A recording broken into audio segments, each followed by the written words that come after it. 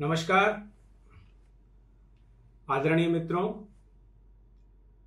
जैसा कि हमने पहले आपको सूचित किया था कि हम आपके मध्य तीन सीरीज़ के साथ आएँगे, तीन बिल्कुल अलग अलग विषयों पर।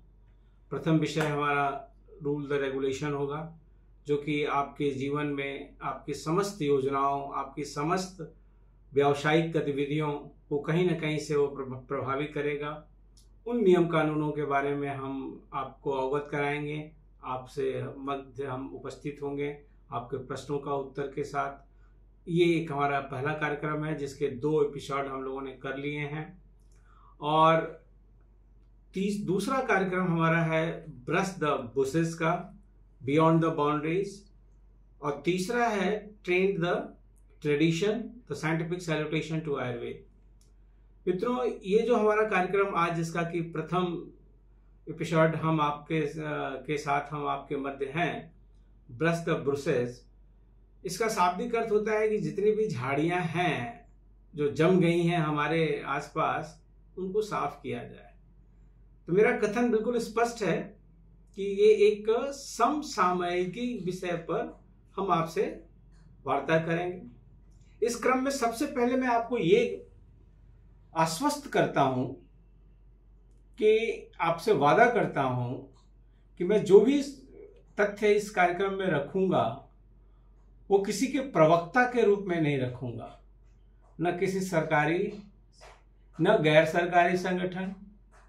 एक आयुर्वेद के विद्यार्थी के रूप में जो मैंने विगत 36 वर्षों से, मैं 1986 में मेरा प्रवेश हुआ था बीएमएस में इलाहाबाद विश्वविद्यालय से बीएससी करने के बाद सीपीएमटी के माध्यम से तब से मैं जो आयुर्वेद को देख सुन रहा हूँ, और आज 2023 तक तो वो मुझे समझ में आता है कि कहीं ना कहीं हमें जो है इस बात पर चर्चा अवश्य करनी चाहिए कि हमारी प्रगति किस दिशा में है और किस दिशा में हम कहाँ तक पहुँचे हैं।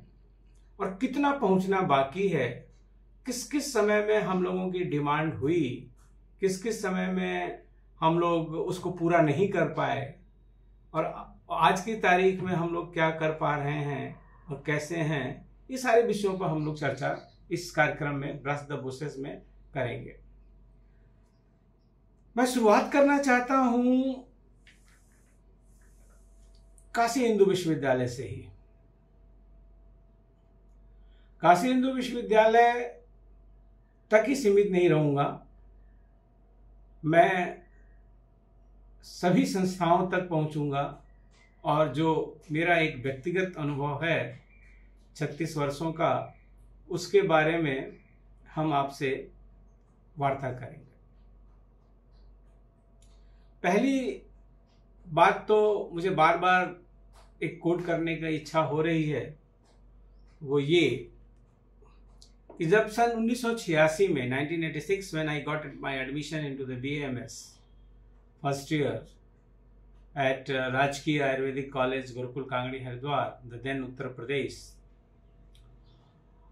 In 1987, two teachers who were attached there, Dr. Vidod sir and Dr. Arun Kaushik sir, invited two very, very prominent scholars या visionaries of Ayurveda to deliver the lecture there in my college. And we were in the second year of the BAMS. And uh, what was the motive of the those two lectures was that Ayurveda is at crossroad. Ayurveda एक चौराहे पर खड़ा है हमें अपने रास्ते तय करने हैं निश्चित कर रहे हैं कि हम किधर जाएँगे। ये बात हुई कब की? 1987 जब मैं आज भी विद्यार्थी हूँ, लेकिन तब इनरोल्ड विद्यार्थी था बी एम एस द्वितीय वर्ष का। आइए, जब मैं 2000 में जामनगर की सेवा में पहुँचा और मुझे बहुत सारे अवसर तुरंत मिले, बड़ा सौभाग्यशाली रहा मैं कि तुरंत 2001 मैं ये कहूँ कि 2000 से ही मैं आयुष विभाग से जुड़ गया। और ये जामनगर की महिमा थी। और वहाँ जब मैं तमाम बैठकों में भाग लेने लगा तो बहुत बड़े बड़े मनीषियों से आयुर्वेद के चर्चा होती थी। मैं एक छोटा सा प्रवक्ता, जागरूकता से अपने प्रश्न उनके सामने रखता था। तो यही प्रश्न उस समय भी आता था और वो लोग कहते थे, यही शब्द होता था एकदम जो मैंने 1987 में सुना था 2004 में, कि आयुर्वेदा एट क्रॉस रोड अब उसके बाद जब हम 2014 में, जब माननीय प्रधानमंत्री मोदी जी ने आयुष मंत्रालय हम लोगों को दिया, वर्ल्ड आयुर्वेदा कांग्रेस के बाद तो उस समय भी एक चर्चा चली थी और पंद्रह सोलह तक फिर यही समझ में आता था, यही लोग कहते थे कि आयुर्वेद को अभी अपनी दशा दिशा निर्धारित करनी है।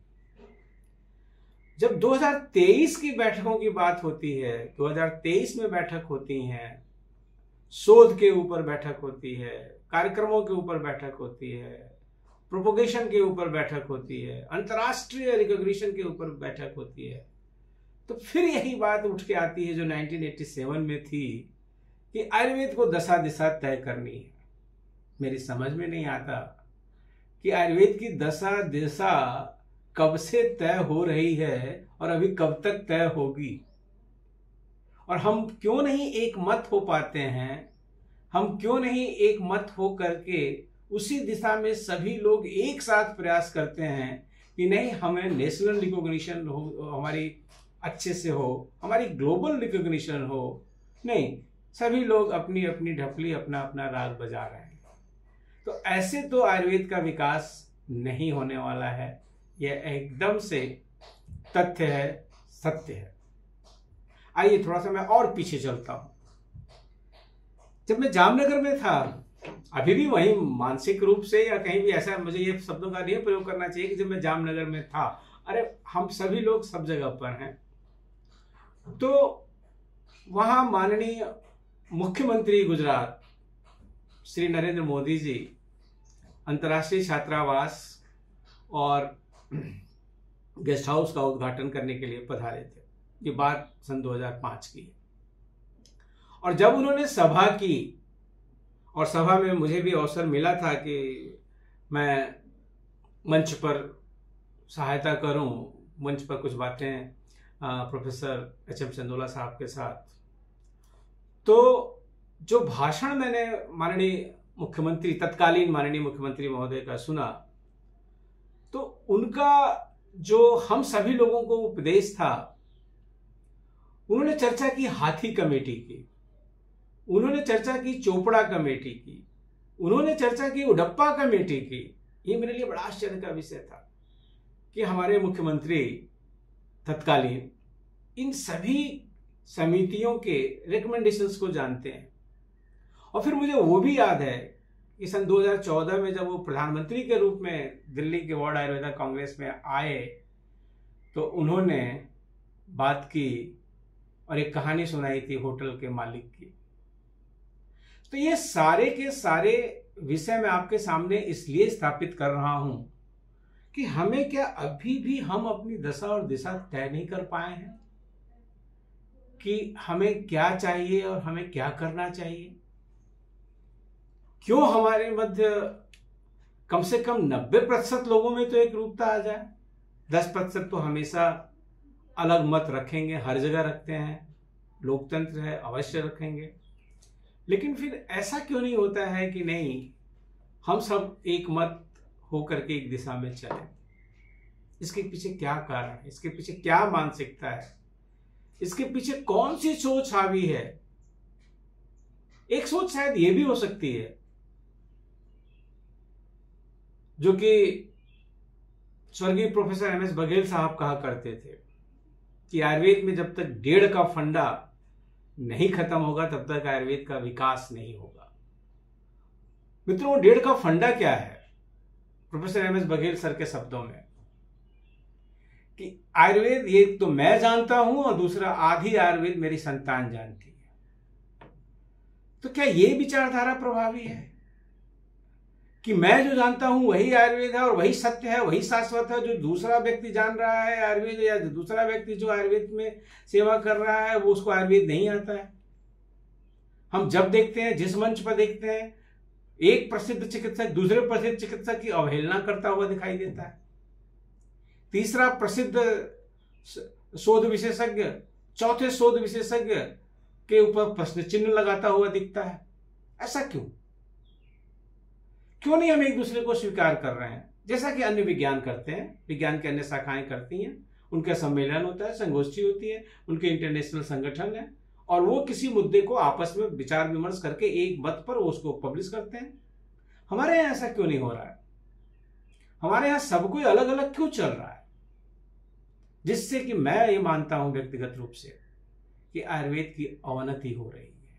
अभी भी हम पिछले, मैं अपने विद्यार्थी जीवन से शुरुआत करता हूँ कि 1987 से मैं सुन रहा हूँ आयुर्वेदा एट क्रॉस रोड और आज भी जब,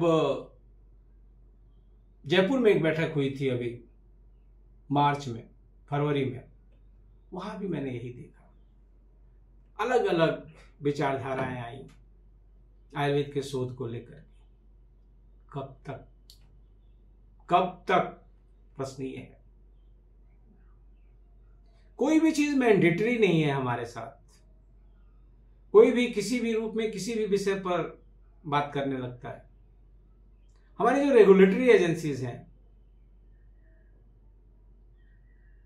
वो अपने दायरे में अच्छा कार्य करने की ज़रूर कोशिश कर रही हैं। इसके लिए उनको साधुवाद। लेकिन धरातल पर इंस्पेक्शन की उस तारीख के बाद, जिस तारीख में इंस्पेक्शन हुआ, एक दिन हुआ, दो दिन हुआ। उसके बाद वर्ष भर उस कॉलेज की क्या स्थिति है? कोई पुरसा हाल है? कोई रिकॉर्ड है? कोई जानकारी है? कोई सिस्टम है? बस दो दिन के लिए वो जगह ठीक है। उसके बाद ये ये स्थिति करीबन 80 प्रतिशत कॉलेजेस के मैं उन सभी कॉलेजेस को, जो कि बहुत ईमानदारी से अपना कार्य कर रहे हैं, उन सब का भूरी भूरी प्रशंसा करता हूँ, उनको साधुवाद देता हूँ। मगर ये नहीं कि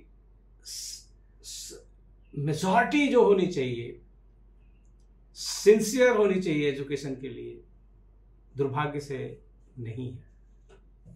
और ये स्थिति खाली आयुर्वेद में नहीं है। अभी मैंने दो दिन, चार दिन पहले ही न्यूज़ पड़ी कि एनसीएम ने 36 मेडिकल कॉलेजेस की मान्यता रद्द कर दी, जिसमें कि कुछ गवर्नमेंट के भी मेडिकल कॉलेज थे। तो हम इससे जस्टिफाई नहीं कर सकते कि नहीं, वो कर रहे हैं उनके यहाँ गलत हो रहा है तो हम भी गलत करेंगे। नहीं, ऐसा नहीं होना चाहिए ना। क्यों? वो कुछ भी करें, वो स्वतंत्र हैं, उनकी वैश्विक मान्यता है। उनके एंटीबायोटिक से 10 लाख लोग वार्षिक रूप से अमेरिका के अस्पतालों में अपना जीवन गंवा रहे हैं, उसका कोई लेखा जोखा नहीं है। लेकिन आयुर्वेद की एक लेड पॉइजनिंग से एक मृत्यु हो जाती है तो पूरे संसार में इसका डंका बजता है। तो हमें ज़्यादा सावधान रहने की ज़रूरत है। एक केस आयुर्वेद का बिगड़ता है तो कितना उछलता है, उस पर आप सब लोग जानते हैं। मेडिकल निग्लिजेंस से उनके कितने केसेस खत्म होते हैं, उस पर कोई चर्चा नहीं होती है। क्यों? क्योंकि वो सार्वभौमिक संप्रभुता के साथ हैं और हम कमज़ोर हैं और अभी भी अपनी दशा दिशा तय कर रहे हैं। और न जाने कब तक हम अपनी दशा दिशा तय करेंगे। कब हम मजबूती से प्रतिकार करेंगे। कब हम मजबूती से अपने तथ्यों को रखेंगे। इसकी ही आवश्यकता है। आइए। अब पसीना बहुत। अगर बात करें आगे की तो मैं बीएचयू से ही शुरुआत करता हूँ और इस विकास यात्रा पर हम लोग कई जगह जाएँगे। और बड़ी तीखी बात कहने जा रहा हूँ और मैं आगे के भी एपिसोड्स में तीखी ही बात करूँगा जो कि सच्ची होगी। और हमें उस पर विचार करना होगा। पंडित भारत रत्न पंडित मदन मोहन मालवीय जी महाराज ने जब काशी हिंदू विश्वविद्यालय की स्थापना का सोचा कि मुझे एक विश्वविद्यालय की स्थापना करनी है तो 1904 में उन्होंने एक कॉन्सेप्ट पेपर लिखा। 1912 में उन्होंने दूसरा कॉन्सेप्ट पेपर लिखा, कई महत्वपूर्ण विद्वानों ने। और 1916 में पार्लियामेंट एक्ट के तहत काशी हिंदू विश्वविद्यालय की स्थापना हुई। देखिए 1904 में भी मालवीय जी ने लिखा कि हम पाँच महाविद्यालय बनाएँगे काशी हिंदू विश्वविद्यालय में। उन्होंने कहा, आयुर्वेद महाविद्यालय, कला महाविद्यालय, विज्ञान महाविद्यालय, गंधर्व महाविद्यालय, महिला महाविद्यालय। सोचिए कि 1904 में ही मालवीय जी ने आयुर्वेद महाविद्यालय का कॉन्सेप्ट लिया था और महिला महाविद्यालय का कॉन्सेप्ट लिया था। और गंधर्व महाविद्यालय मतलब म्यूज़िक। सेम वो 1912 तक ले आए।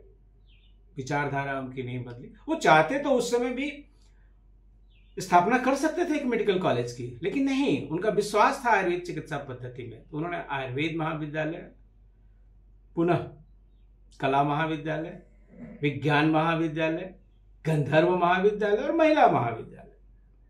और 1916 में वो कॉन्सेप्ट स्थापित हुआ। लेकिन तत्कालीन रूप से कई चीज़ें घटित हुई। तो आयुर्वेद की स्थापना 1922 में काशी हिंदू विश्वविद्यालय में डिपार्टमेंट ऑफ़ ओरिएंटल लर्निंग की एक यूनिट के रूप में हुई, आयुर्वेद।